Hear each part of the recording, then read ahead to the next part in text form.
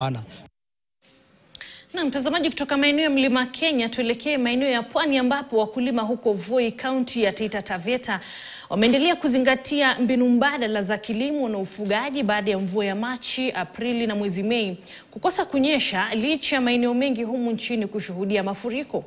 Aidha, wakulima hao walipokea mafunzo. Hezron Kimari anaarifu zaidi kutoka Voi.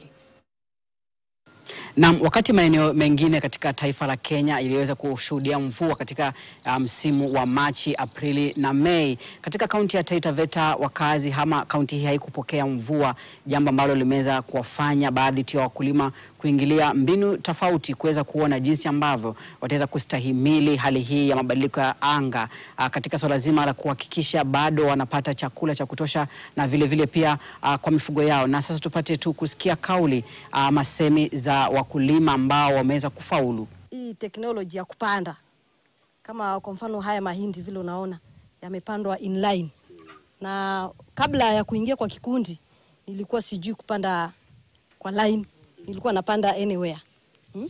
Alafu nachanganya mahindi, cowpeas, everything in, in the same ninio, lakini saa hii nimejua kwamba ni, ni na crop cross ni crop cross ama tunasemaje?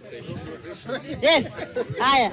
Na this time nikipanda pojo pande hii, nikipanda mahindi pande hii, nikipanda ninio pande ile, next time ninabadilisha.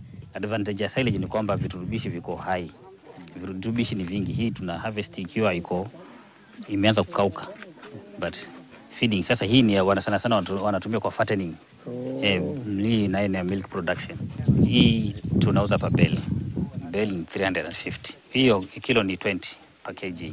Vile wewe uko nje huwezi faidika. Mimi saa hii niko na mbegu na ninajua ile mbegu yenye inafanya vizuri, lakini mkulima yule mwenye ako nje anafanya kawaida, hafaidi vile mimi ninavyofaidi. Maana sasa hivi vile tunavyoelekea katika hii sehemu yetu ya ukame, wao hawa, hawajui kufaidi chenye tunafaidi, kwa sababu mimi niko na mbegu aina, aina tatu za za hii pojo vile inavyofanya. Hii pojo nailima kama biashara, nitumie yani, niuze nipate mazao, na mengine nitumie kama school fees ya kusomesha watoto wangu. So whatever you learn here it can only be meaningful, itakuwa na usaidizi kama mtai practice wapi? Nyumbani kwenu.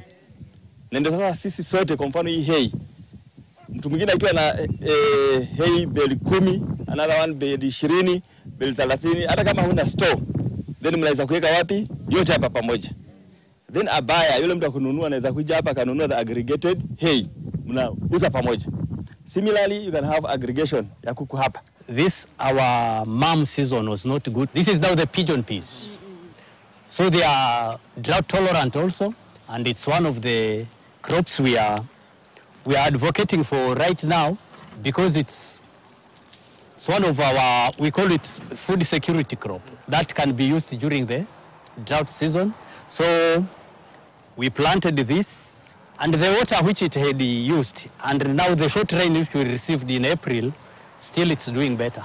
So this is dry, purely dry land. We are not, we are not watering.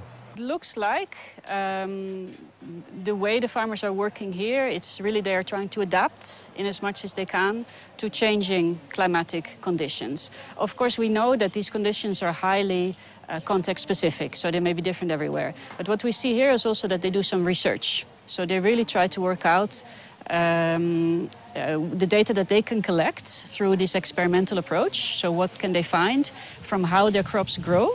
And from there, they will choose the best solution. So that really, that kind of, um, I think they call it participatory uh, research.